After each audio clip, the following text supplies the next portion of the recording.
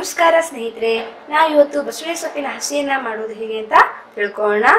First ಚೆನ್ನಾಗಿ wash ಮಾಡಿಟ್ಕೊಂಡು ಬಸಳೆ ಸೊಪ್ಪಿನ ಎಲೆಗಳು. ನೀವು ದಂಟನ್ನು ಯೂಸ್ ಮಾಡೋದಿದ್ರೆ ಅದು ಎಳೆದಾಗ ಇರಬೇಕು, ಬೆಳೆದಿರಬಾರ್ದು. ಮತ್ತೆ ಒಗ್ಗರಣೆಗೆ ಉದ್ದಿನಬೇಳೆ, ಸಾಸಿವೆ ಮತ್ತು ಒಣಮೆಣಸಿನ್ಕಾಯಿ. ಇದಕ್ಕೆ ಸೇರಿಸೋ, ಹಸಿಯನ್ನು ಸೇರಿಸೋಕೆ ಒಂದು ಮೀಡಿಯಂ ಸೈಜ್ ಈರುಳ್ಳಿ, ರುಚಿಗೆ ತಕ್ಕಷ್ಟು ಉಪ್ಪು, ಸ್ವಲ್ಪ ಮೊಸರು ಸ್ವಲ್ಪ ಕಾಯಿ ತುರಿ, ಮತ್ತೆ ಒಗ್ಗರಣೆಗೆ ಎಣ್ಣೆ, ಸ್ವಲ್ಪ ನೀರು ರುಬ್ಕೊಳ್ಳೋಕೆ. ಇವಿಷ್ಟಿದ್ರೆ ನಾವು ಬಸಳೆ ಸೊಪ್ಪಿನ ಶೇನ ಮಾಡ್ಬೋದು. ಈಗ ಹೇಗೆ ಮಾಡೋದು ಅಂತ ನೋಡ್ಕೊಂಡು ಬರೋಣ. ನಾನೀಗ ಇಲ್ಲಿ ಬಸಳೆ ಸೊಪ್ಪು ಮತ್ತೆ ಈರುಳ್ಳಿಯನ್ನ ಹೆಚ್ಚಿಟ್ಕೊಂಡಿದ್ದೀನಿ. ಈಗ ಒಗ್ಗರಣೆ ಹಾಕೋಣ. ಈಗ ನಾನಿಲ್ಲಿ ಒಂದು ಪಾತ್ರೆಗೆ ಎಣ್ಣೆ ಹಾಕೊಂಡಿದ್ದೀನಿ ಇದಕ್ಕೆ ನಾನೀಗ ಉದ್ದಿನ ಬೇಳೆ ಸಾಸಿವೆ ಮತ್ತು ಮೆಣಸಿನಕಾಯಿಯನ್ನ ಸೇರಿಸಿ ಒಗ್ಗರಣೆ ಹಾಕ್ತೀನಿ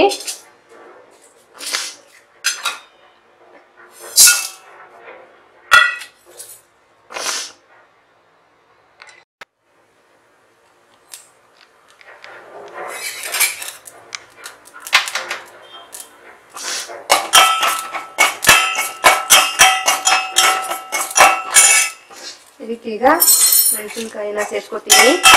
ನೀವು ಬೇಕಿದ್ರೆ ಹಸಿಮೆಣಸನ್ನು ಕೂಡ ಹಾಕೋಬಹುದು ನಾನು ಹಸಿಮೆಣಸನ್ನು ಯೂಸ್ ಮಾಡೋದನ್ನ ಅವಾಯ್ಡ್ ಮಾಡ್ತಾ ಇದ್ದೀನಿ. ಅದಕ್ಕೋಸ್ಕರ ಆಗ್ತಾ ಇಲ್ಲ. ಚೆನ್ನಾಗಿ ಸಾಸಿವೆ ಕಾಳು ಸಿಡಿದಿದ್ದೆ ಇದಕ್ಕೆ ಬಸಳೆ ಕಟ್ ಮಾಡಿ ಬಸಳೆ ಸೊಪ್ಪನ್ನ ಸೇರಿಸೋಣ.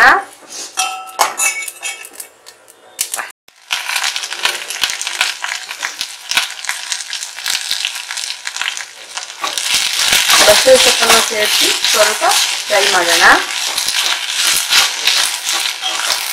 ಹೆಚ್ಚಾಗಿ ಎಲ್ಲ ರೆಸಿಪಿಗಳಲ್ಲೂ ಈರುಳ್ಳಿಯನ್ನ ಫಸ್ಟ್ ಹಾಕ್ತಾರೆ. ಬಟ್ ಇಲ್ಲಿ ನಾನು ಬಸಳೆ ಸೊಪ್ಪನ್ನು ಹಾಕ್ತಾ ಇದ್ದೀನಿ. ಈರುಳ್ಳಿ ಹಸಿ ಹಸಿಯಾಗಿದ್ರೆ ಚೆನ್ನಾಗಿರುತ್ತೆ. ಈರುಳ್ಳಿ ಸ್ಮೆಲ್ ಅಷ್ಟಾಗಿ ಇಷ್ಟ ಆಗದೆ ಇರೋರು ಫಸ್ಟ್ ಈರುಳ್ಳಿ ಹಾಕಿ ಫ್ರೈ ಮಾಡಿ, ಮತ್ತೆ ಕಟ್ ಮಾಡಿ ಇಟ್ಕೊಂಡಿರೋ ಬಸಳೆ ಸೊಪ್ಪನ್ನು ಸೇರಿಸಿ ಫ್ರೈ ಮಾಡಿ.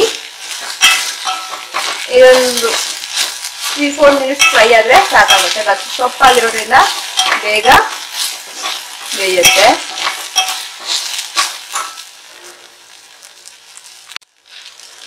ನಾನೀಗ ಇದಕ್ಕೆ ಸ್ವಲ್ಪ ಉಪ್ಪನ್ನ ಸೇರಿಸ್ತೀನಿ. ಬೇಗ ಬೇಯುತ್ತೆ ಸೊಪ್ಪು. ನೀರೇನು ಹಾಕೋದು ಬೇಕಾಗಲ್ಲ.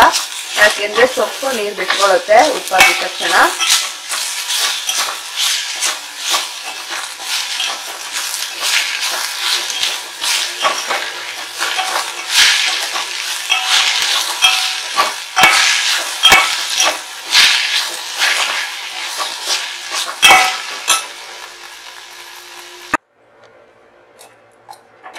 ಈಗ ಇದು ಬೆಂದಿದೆ.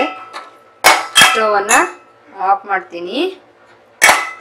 ಈಗ ಇದಕ್ಕೆ ಹೆಚ್ಚಿರೋ ಈರುಳ್ಳಿನ ಸೇರಿಸ್ಕೊಳ್ಳೋಣ. ಹೆಚ್ಚಿರೋ ಈರುಳ್ಳಿಯನ್ನ ಸೇರಿಸಿದ್ದೀನಿ.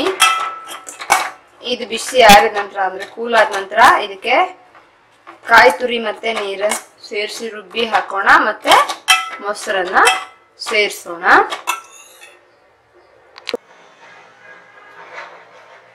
ಈಗ ಇದು ಕೂಲ್ ಆಗಿದೆ. ಮತ್ತೆ ನಾನಿಲ್ಲಿ ಕಾಯಿ ತುರಿಯನ್ನ ರುಬ್ಬಿಟ್ಕೊಂಡಿದ್ದೀನಿ. ಇದನ್ನ ಇದಕ್ಕೆ ಸೇರಿಸೋಣ. ಯಾವತ್ತೂ ಇದು ಕೂಲಾದ ನಂತರನೇ ಸೇರಿಸಿ. ಮತ್ತೆ ಇದಕ್ಕೀಗ ನಾವು ಮೊಸರನ್ನ ಸೇರಿಸೋಣ.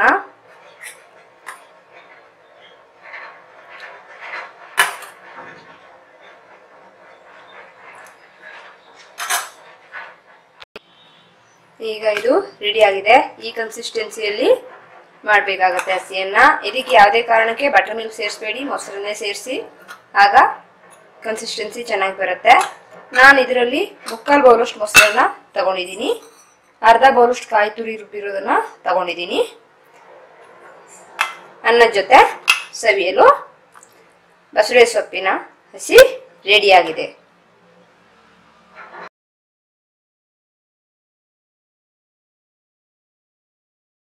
ನಿಮಗೆ ವಿಡಿಯೋ ಇಷ್ಟ ಆದಲ್ಲಿ ಸಬ್ಸ್ಕ್ರೈಬ್ ಮಾಡಿ ಶೇರ್ ಮಾಡಿ ಮತ್ತು ಲೈಕ್ ಮಾಡಿ.